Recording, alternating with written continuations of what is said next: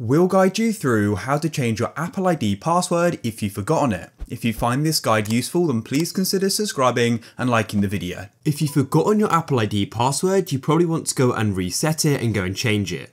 So to go and do this, all you need to do is go and open up a web browser. So I'll just go and use Safari as that's the default browser.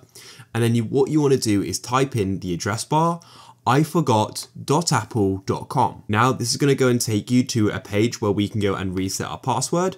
So you can go click on reset password like so. I've gone and had this pop up here about resetting my Apple ID password, which is currently used on this iPhone. However, if this is the wrong Apple ID, then click on help someone else and then you can go and do that.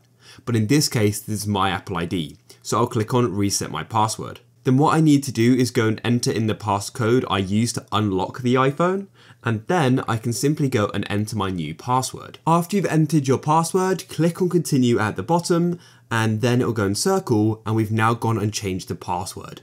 You can press done and that's it. You'll now be using that password when you want to go and sign into your Apple ID or you'll ask for it. If you found this guide useful then please leave a like.